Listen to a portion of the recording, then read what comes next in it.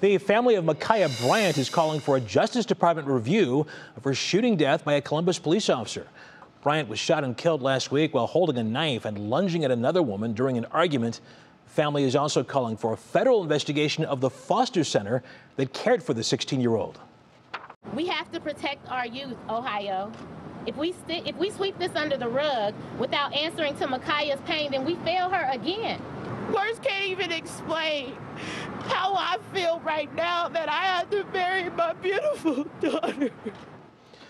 The shooting is under review by Ohio's Bureau of Criminal Investigation. Ma'Khia's funeral services are planned for Friday.